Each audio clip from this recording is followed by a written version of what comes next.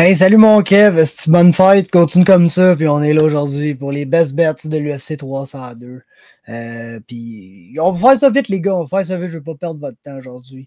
On va regarder chaque combat de la carte, c'est quoi les odds, qu'est-ce que j'en pense. Après ça, je vous dis mes plays, puis on calisse notre carte ici pas compliqué. Euh, mes odds, là, c'est en date de 22h35 jeudi le 30 mai. Et j'ai les euh, sur euh, Bet365, que c'est les odds officiels que je vais vous donner. Là. Ça change de, de boucle en boucle, mais ça va être à peu près ça. Puis c'est ça. Après, je dis no bet. Après, je dis qu'est-ce qu'il y a à vous dire? Puis on, s'en va de ça. Donc, premier combat de la soirée, on a Mitch Reposo face à André Lima. André Lima, moins 250, le favori face à Mitch Reposo les odds sont, sont, sont, corrects. Reposo, c'est un short notice. Lehman a prouvé qu'il est assez bon euh, pour un prospect. Donc, tu sais, je pense que les odds ont du bon sens ici. Le favori est, bien favori. Ensuite, on a Aileen Perez moins 188 face à Jocelyn Edwards à plus 162. Euh, c'est un coin flip, ça, les gars, mais c'est comme ces deux spécialistes des split decisions. Euh, surtout Jocelyn Edwards. Et puis, je pense pas que tu veux bet un side ici. Tu veux pas avoir un bet un, over-under de, de ronde. On y reviendra. Euh, ensuite, j'en ai discuté sur le podcast, j'en ai encore plus discuté pendant mon vidéo de prédiction. Si vous n'avez pas vu mon vidéo de prédiction, euh, allez voir ça, bien que je vais tout vous dire mes prédictions quand même dans quelques instants. je ne veux pas que vous n'ayez pas voir mon vidéo pareil. Ce serait cool si vous checkiez les deux, man. Je, je serais bien, bien, bien content. Mais faites bien ce que vous voulez, hein, les chums. Mais bref, on a Mickey Gall, son retour. Il est underdog plus 275 face à Basile Afes, moins 350. Ces odds ils n'ont pas d'allure, les gars. Puis c'est Mickey Gall ou rien pour moi ici, honnêtement. C'est Mickey Gall ou rien. Puis je vais vous dire tout de suite, j'ai bet sur Mickey Gall dans ce combat-là. Je pique Basile, j'ai bet sur Mickey Gall parce que Basile a fait.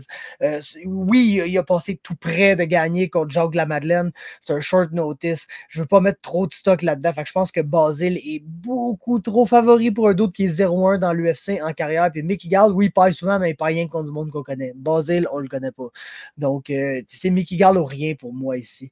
Ensuite, Phil Rowe euh, face à Jake Matthews ça, c'est intéressant. On a Phil Rowe à plus 130, moins 160 euh, pour Jake Matthews. J'ai pick Phil Rowe, moi. Donc, je pick l'underdog dans ce combat-là. Est-ce que de facto, je vais mettre dessus plus 130? C'est pas assez. Je suis comme pas assez confiant que Phil Rowe va gagner pour, pour, euh, underdog money, mais underdog money proche de, de e-, even money. Ça me prendra un plus 200 et plus le pour dire, ah fuck that, je mets un peu d'argent sur, sur Phil Rowe ici. Ensuite, Grant Dawson euh, face à Joe Solecki. Do not bet on this fight. Je le sais, les gars, que vous allez faire un parlay avec genre Grant Dawson, puis probablement, c'est qui l'autre? Basile, genre, ou de quoi de même.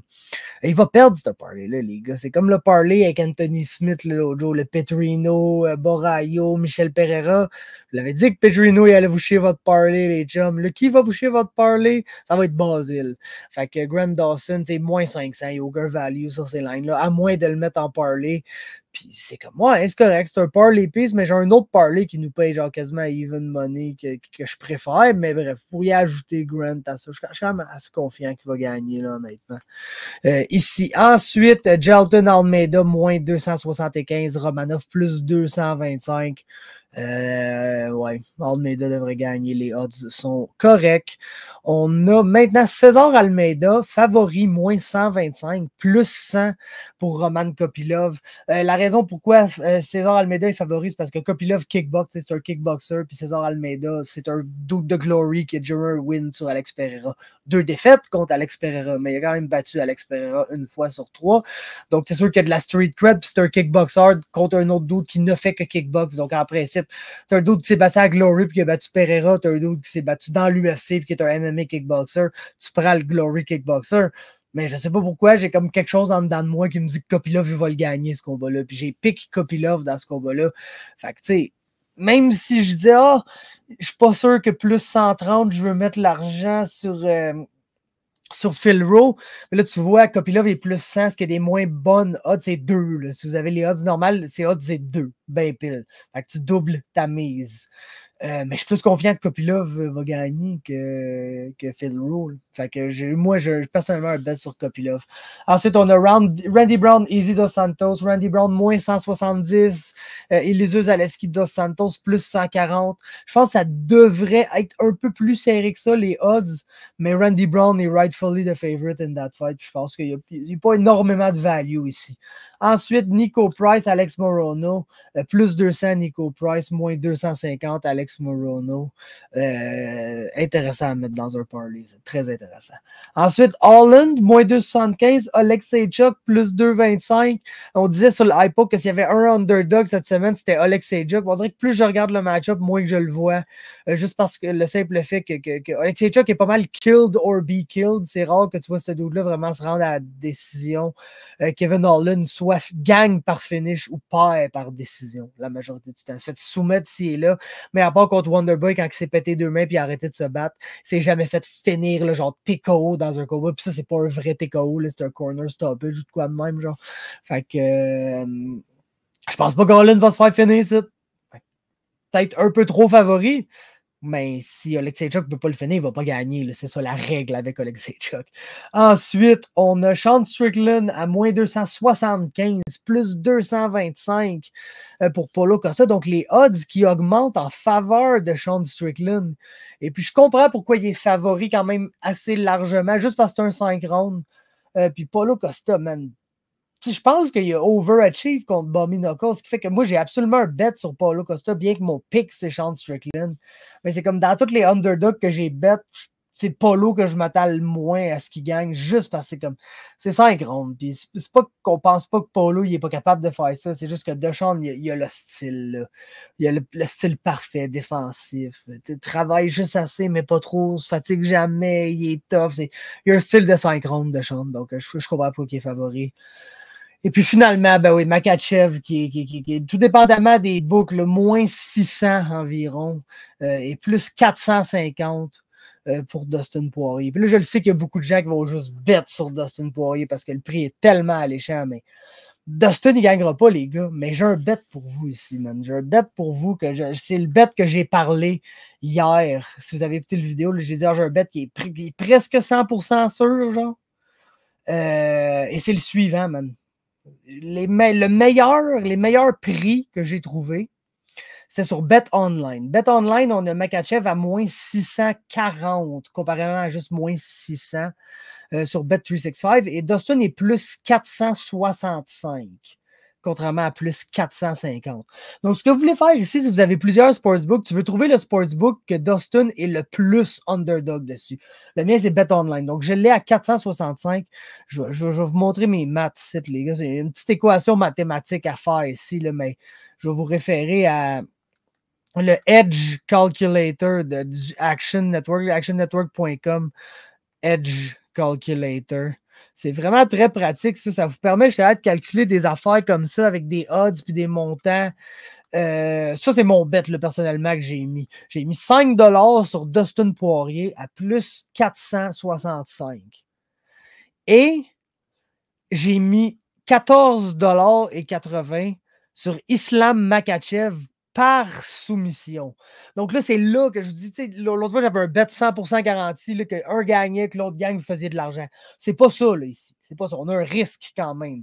Mais, tu sais, comme j'ai mentionné hier dans le preview, c'est comme Makachev, c'est comme si. Ça me surprendrait qu'il knock Dustin Poirier, surtout après avoir knocké. Euh, Volt comme vient de faire. Il va-tu vraiment highlight real knockout deux d'autres de même OG à ce point-là? Quand le d'autre c'est un grappler, puis il sait, c'est la kryptonite de Dustin. Il va pas une guillotine, il va sûrement se mettre lui-même sur son dos puis donner la position à Islam. Fait que, même si Islam il a pas dans son plan premier de grapple avec Dustin, ce qui me surprendrait beaucoup, surtout que Khabib va être de retour dans le coin.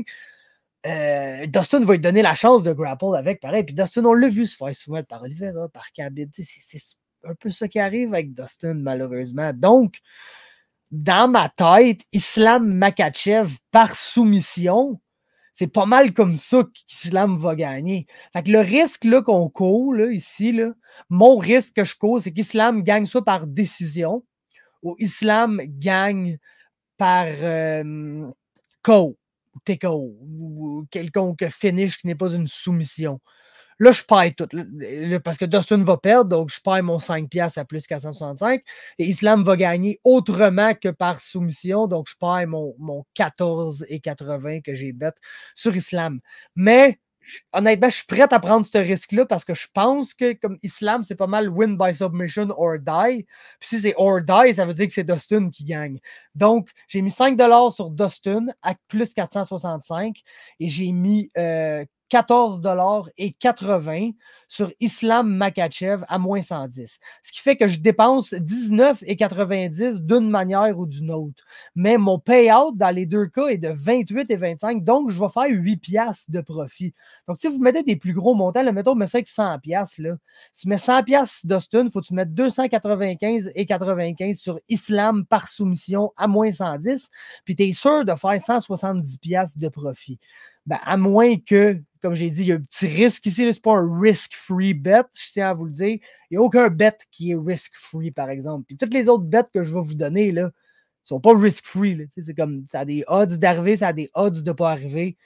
Euh, puis c'est le cas ici, mais je trouve que Islam par soumission, c'est pas mal de même qui va gagner, selon moi. Puis si Dustin gagne de peu importe quelle façon, on, cache le plus 465. Là, je peux aller sur un Dustin par code, Dustin par ci.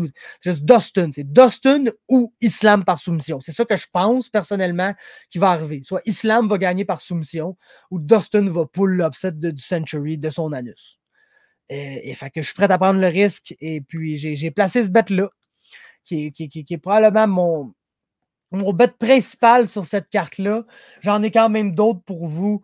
Euh, personnellement, j'ai mis. Euh, si je mets 5 sur Dustin puis 14,80, donc un total d'environ 20 sur ce, bet du main event-là, ben les autres, les autres underdogs que je vais vous dire que j'ai bet sur qui sont Mickey Gall et Polo Costa, j'ai mis genre 2 3 là. Donc, c'est comme tu divises par 5, tu divises par 10, littéralement.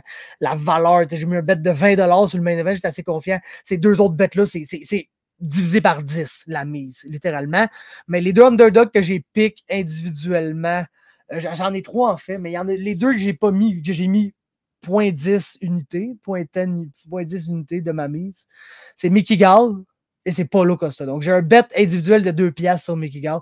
J'ai un bet individuel de 2 piastres sur Paulo Costa. Je me suis permis un peu de, de mettre un bet de 5 dollars sur Roman Kopilov. Et puis, euh, finalement, pour comme essayer de contrer des pertes inévitables dans ces, combats-là, j'ai deux parlays. Euh, j'ai un parlay que j'ai mis la moitié. Donc, si ma mise est 20 j'ai mis 10 Ce parlay-là est André Lima et Alex Morono. Je pense que, honnêtement, là, ceux qui sont comme assez largement favori, c'est sûr que j'ai le plus confiance, hein, contrairement à Basile, contrairement à Grant Dawson. Grant Dawson, j'ai confiance, c'est juste que je, je trouve, j'aime pas le prix.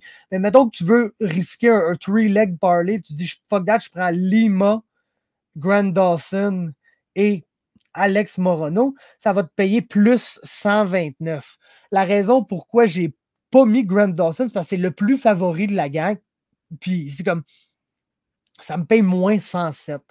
Donc, moins 107 plus 129, oui, tu tombes plus money. Euh, si, tu rajoutes Grant Dawson, mais je trouve que pour la différence de odds, j'aime mieux le parler juste à 2 qu'à 3. C'est un combat de moins à être stressé. Et puis finalement, j'ai mon classique bet de over. 1.5 round, vous le savez, j'aime ça, les gars. Puis sur, quel combat, évidemment, que j'ai arrêté. Le, le, le, combat qui est la base de ce parlay-là, c'est Island Perez face à Jocelyn Edwards. définitivement, ce combat-là s'en va direct à la décision, les chums. Donc, euh, j'ai ce fight-là, c'est moins 500 les cotes, que ça va être plus que 1.5 round. Donc, euh, ça, me prenait plus de juice un petit peu. Euh, donc, j'ai décidé de faire un three-leg parlay parce que, étonnamment, si je regarde mes stats de cette année, souvent quand je vais faire des, des parlays de over 1.5, puis je prends juste deux combats, j'ai réussi à peu près 50% du temps. Mais quand je prends trois combats dans mon parlay, qui est un combat de plus, supposé être plus risqué, j'ai des meilleurs odds, mais j'en ai genre réussi 10 sur 15 à date cette année quand j'ai three legs. Tant qu'à ça, on va ride mon genre de trend bizarre, euh, puis on, va y aller avec three legs. Surtout que comme c'est des combats que les odds sont pas vraiment bonnes, c'est presque sûr que ça va aller over 1.5. Donc, les odds ne sont pas particulièrement bonnes. Quels sont mes deux autres combats que j'ai choisis pour ce parlay? Donc, j'ai Perez contre Edwards, première leg du parlay. Deuxième leg du parlay, Grant Dawson, Joe Solecki, c'est deux grapplers. Grant Dawson, il a tendance à prendre son temps au sol. C'est pas le genre de doute qui est genre te takedown, puis le deck est au sol, bang, insta back take, puis sur un choke, puis le gars, il prend son temps au sol. Solecki est aussi un bon grappler.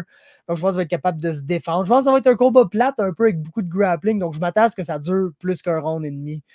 Euh, et euh, finalement, le troisième, ben, c'est Strickland contre euh, Costa. Je pense pas que Paulo Costa va être capable de juste geler Sean Strickland out cold de même dans les premières 7 minutes 30 de ce combat.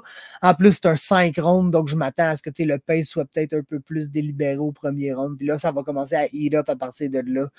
Donc, je pense que c'est probablement les trois combats sur la carte que je suis le plus confiant qui vont aller over 1.5. Donc, je les ai mis trois ensemble. Strickland Costa, Perez Edwards, Dawson Solecki. Over 1.5 rounds pour ces trois-là.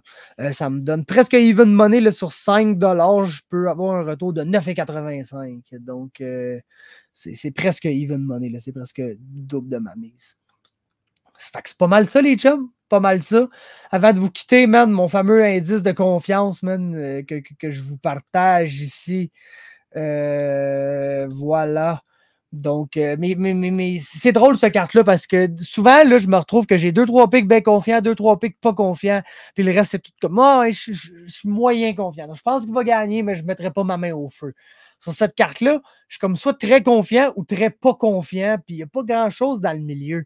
Donc, euh, dans mes confiants, l'Islam Makachev, assez confiant. Jelton Almeida, assez confiant. Morono, André Lima, Grant Dawson, tout assez confiant qu'ils vont gagner. Euh, dans mes moyens confiants, je pense qu'ils vont gagner, mais je ne mettrai pas ma main au feu. J'ai Randy Brown et Sean Strickland. Puis les odds étaient assez belles pour Costa, que j'ai osé bet sur Costa, comme vous avez vu. Puis dans ceux que, je ne suis pas confiant du tout, euh, ben, j'ai Roman Kopilov, que je ne suis pas tant confiant que ça qui va gagner, mais assez pour battre sur lui somehow. Euh, Kevin Holland, je ne suis jamais confiant en Kevin Holland. Il risque de gagner, mais les odds sont beaucoup trop grosses. Lynn Perez contre Edwards, comme je vous ai dit, ça va être une split decision. Ça, tu peux littéralement pas deviner qui va gagner ce combat-là. Basile, surtout à ces odds-là. Puis Phil Rowe qui genre Phil Rowe contre Jake Matthews. Dans les trois combats que j'ai aucune calice d'idée ce qui va arriver, qui sont mes trois moins confiants. Euh, Phil Rowe contre Jack Matthews, c'est le combat que j'ai aucune calice idée ce qui va arriver, man. Fait qu'en finissant, juste pour le fun, je vais aller voir mes, mes 5 picks confiants. Mettons, on fait un parlay que c'est 5 là, sur Bet365. Ça va nous donner quoi donc? Islam Makachev, Alex Morono, Jelton Almeida, Grant Dawson et André Lima, ça paye à plus 274. C'est même pas du genre, mettons, un plus 400, plus 500. Je ne le ferai pas le par avec les 5, personnellement, les gars. Fait que c'est ça, c'était best best. Je pas si vous avez apprécié. Perdez pas trop d'argent, les gars. Puis si vous perdez de l'argent à cause de mes pics, ben c'est pas de ma faute. Moi, je vous suggère les affaires. Faites ce que vous voulez avec votre cash, les gars. Au final, je sais que vous allez faire à votre tête, mais, mais le petit bet, là, genre de Dustin Poirier, euh, straight, islam par soumission, ça te garantit du profit. Euh, je l'aime bien, je l'aime bien. je suis prêt à prendre le risque que Islam gagne par décision, puis je perde tout ça. Je pense qu'Islam va avoir un masse de temps pour le soumettre, par exemple. Que, confiant. Merci d'avoir été à l'écoute.